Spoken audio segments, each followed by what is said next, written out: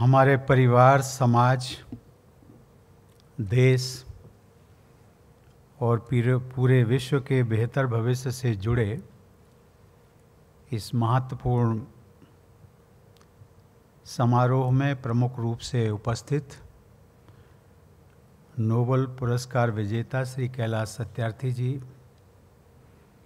Kailash Satyarthi children's foundation के MD rear admiral Rahul Sehrawat ji, foundation की director Sushri Jyoti Mathur ji, इस सभागार में उपस्थित सभी गणमान्य अतिथियों, प्यारे बच्चों देवी और सज्जनों।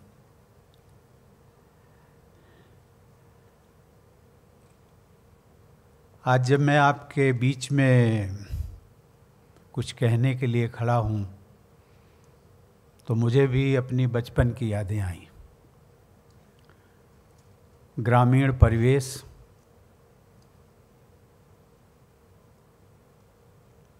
और उस परिवेश में बच्चों का जीना, बच्चों को शिक्षा प्राप्त करना और आगे बढ़ना वो बहुत कठिन काम होता है। वहाँ पर, बचपन आसान नहीं होता है। पग पग पर कठिनाइयाँ। और जिस सेक्सुअल अब्यूज़ के बारे में एक आंदोलन खड़ा किया है कैलाश सत्यार्थी जी ने। सबसे पहले मैं उनको बहुत बहुत बधाई देता हूँ, बहुत बहुत बधाई देता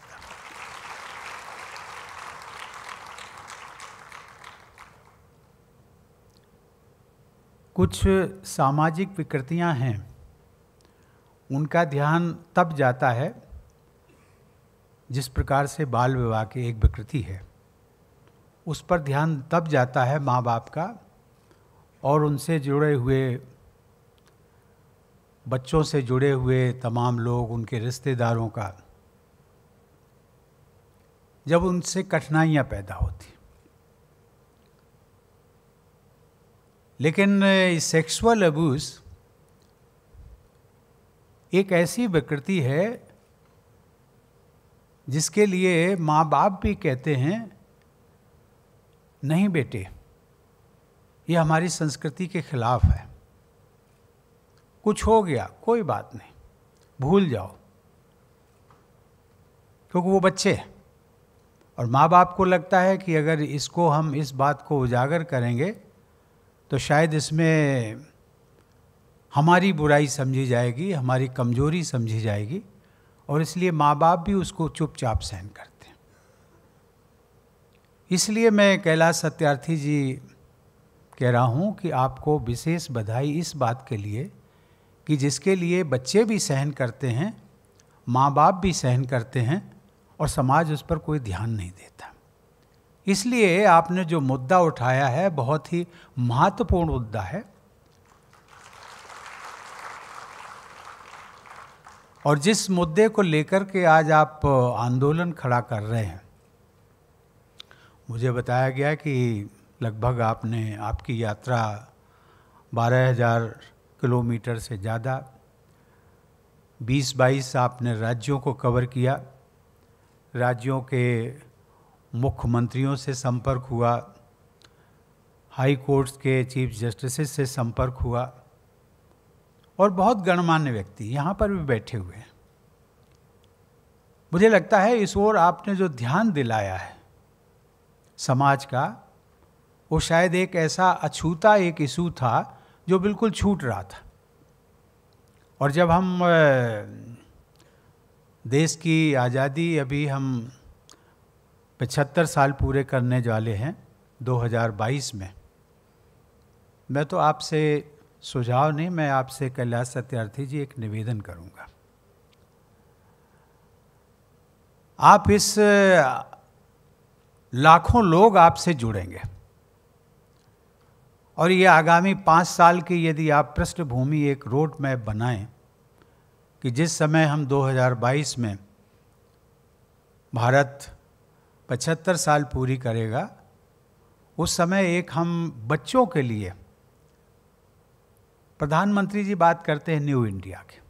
कंसेप्ट अच्छा है। न्यू इंडिया अर्थात विद इंफ्रास्ट्रक्चर सुख सुविधाओं से, लैस। लेकिन वो सब कुछ होते हुए भी यदि जो सेक्सुअल अब्यूज़ का है, हमारे बच्चों के साथ जो दुर्घटनाएँ, अत्याचार होता है, अगर इस प्रकार के जो सेंसिटिव इशूज़ हैं, ये इशूज़ छूट जाएँगे तो मुझे लगता है कि शायद वो हमारा जो पचहत्तर साल हम पूरे करेंगे तो वो भारत देश की आज़ादी का उसमें फिर भी अधूरापन रहेगा इसलिए मैं आपसे अनुरोध करता हूँ, आप आगे बढ़िए, देश आपके साथ खड़ा रहेगा।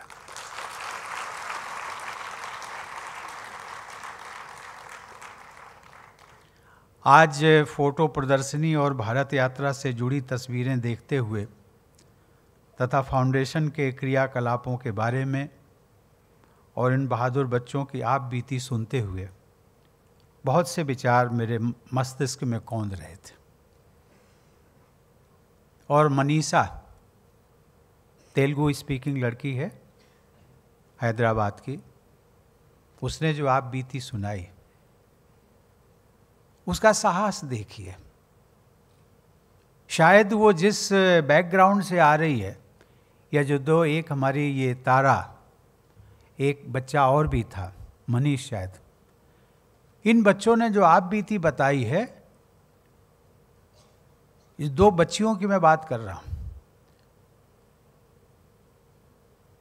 इससे शायद ये जिस पृष्ठभूमि से निकल करके आई है, इनका जो अपना एक सीमित समाज है, इनके माँ बाप को अभी भी लग रहा होगा कि ये तो जो बात यहाँ पर लोग नहीं जानते थे या कुछ ही लोग जानते थे कि भाई हमारे साथ में अत्याचार, हमारी बेटी के साथ अत्याचार हुआ या होने का प्रयास किया गया, वो तो अब पूरा देश जान गया। तो शायद वो भी एक अपने को डिग्रेडेड फील कर रहे होंगे। लेकिन इन बच्चियों ने, इनके साथियों ने और ये जो मार्चर्स हैं, जो संख्या बताई गई है 300 के करीब, मुझे लगता है कि ये आंदोलन चलेगा। तो सही मायने में मैं कहता हूँ कि असली राष्ट्र निर्माता यही है।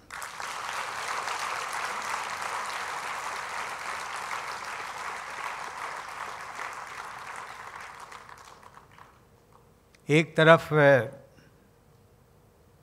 मनुष्य ने अनेक वैज्ञानिक चमत्कार कर डाले हैं तो दूसरी तरफ़ इंसानों की शक्ल में हैवान हैवान भी शायद शब्द छोटा पड़ेगा। इंसानों की शक्ल में हैवान आज भी हमारे बच्चों के जीवन के साथ खिलवाड़ करते हैं। वैज्ञानिक प्रगति के साथ साथ नैतिकता और संवेदनशीलता का उतना ही विकास क्यों नहीं हो सकता? इक्कीसवीं सदी में पैदा हुए बच्चों को हम कैसी दुनिया, कैसा समाज और कैसा भारत देना चाहते हैं? मेरा मानना है कि अगर एक भी बच्चा असुरक्षित है तो कहीं ना कहीं पूरा समाज दोषी है। हम सब दोषी हैं। इसलिए सुरक्षित बचपन सुरक्षित भारत की कल्पना को लेकर के ये यात्रा पूरे समाज को और पूरे देश को दोष मुक्त अपराध करने की दिशा में एक बहुत बड़ा कदम है। देश के प्रत्येक व्यक्ति का ये कर्तव्य बनता है कि सत्यार्थी जी आपकी यात्रा के उद्देश्यों से जुड़े, जुड़ें और हमारे बच्चों को एक बेहतर भारत का नागरिक होने का अवसर व अनुभव प्रदान करें। मुझे इन सभी मार्चर्स पर, इन अपने बच्चों पर गर्व है, जो आज यहाँ उपस्थित होकर अपने कठिन लेकिन प्रेरक अनुभवों के बल पर पूरे समाज की अंतरात्मा को जगा रहे हैं। इन बच्चों के जीवन को तथा मूलभूत अधिकारों से वंचित हज़ारों बच्चों के जीवन को संवारने वाले कैलाश सत्यार्थी जी और आपका फाउंडेशन, उसकी जितनी भी प्रशंसा कम की की जाए वो कम है।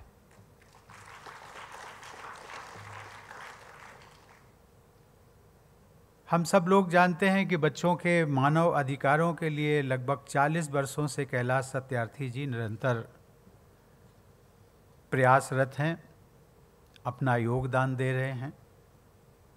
मुझे बताया गया है कि आपके प्रयासों से पचासी हज़ार से अधिक बच्चों को शोषण से मुक्ति मिली है, उन्हें शिक्षा के अवसर मिले हैं और अपने जीवन को फिर से शुरू करने में सहायता मिली है।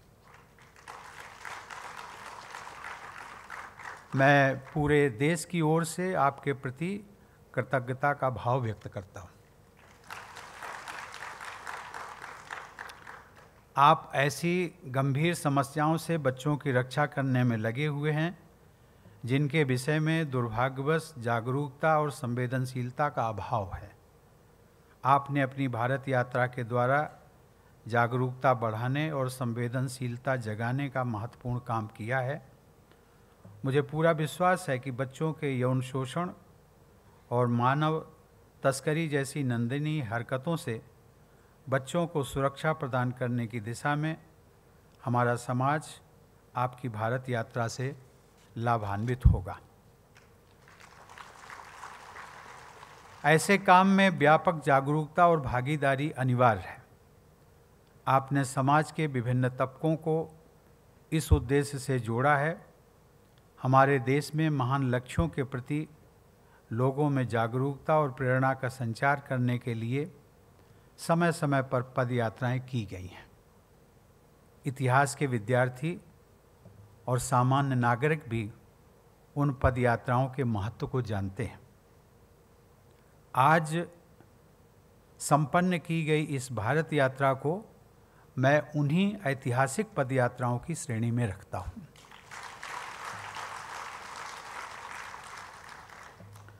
हमारे देश में बच्चों के अधिकारों को सुरक्षित करने के लिए नीतियाँ और कानून तो हैं, लेकिन पूरे समाज की जागरूकता और संवेदनशीलता ही ऐसे अधिकारों को सुनिश्चित कर सकती है। एक आपने सुझाव दिया, हमारे विद्यालयों के पाठ्यक्रम, अर्थात सिलेबस में भी इसका उल्लेख हो, सेक्सुअल अब्यूज़ का उसके क्या कॉन्सिक्वेंसेस हो सकते हैं, क्या पनिशमेंट हो सकते हैं, उन सब के बारे में भी एक उसमें चैप्टर होना चाहिए।